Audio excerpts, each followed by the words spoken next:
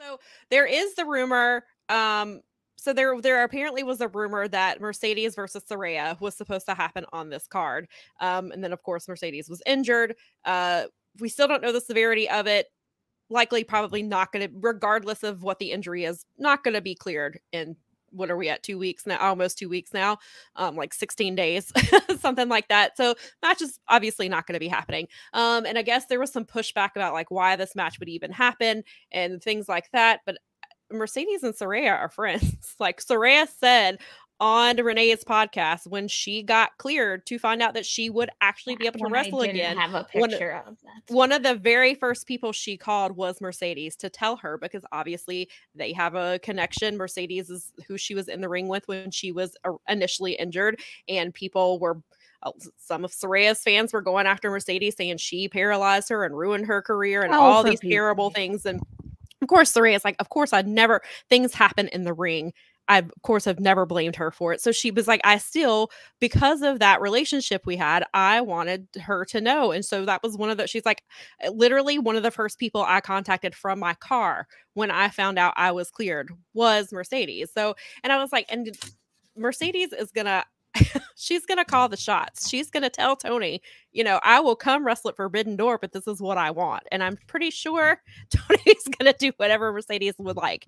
If she says, I would like to, I mean, maybe if she says she wants to wrestle Kenny Omega, you know, he might say no to that because he doesn't like the intergender wrestling, but pretty much anything. I would be here for that match, by the way. I'm the same.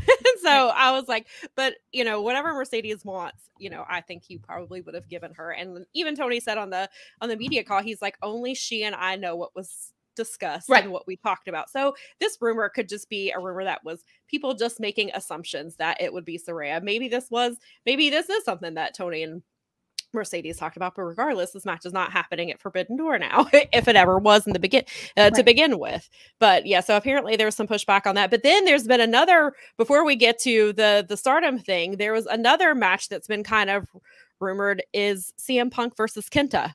Uh, now that a, one I did not have a picture for because I only heard about that. Yeah, it's morning, and it's I was more like, or less been a rumor, but it's it has it's a rumor that has credence to it. It's something that could easily happen be, because Kenta obviously is New Japan. He's available.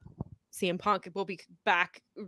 It, eh, he'll be back right before, or no, well, Collision. Yeah, Collision's a week after, or like eight days after. Um, Forbidden or before Forbidden Door, I should say.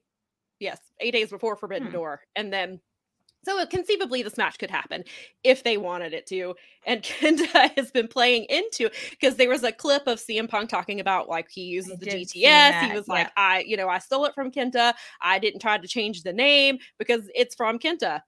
And so, and Kenta, that that's been, I mean, he's openly talked about that for years. And so Kenta has basically said, if you want this match to happen, then Tony has to pay me. so he was like, he was like, Give me the bag and I will come.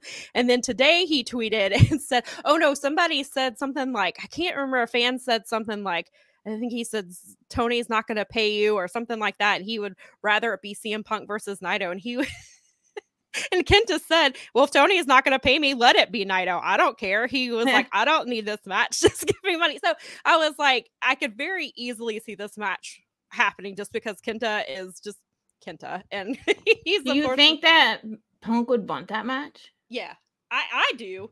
You think I, he I would? Think so. I think he would, just because I don't think he's gonna back down from Kenta.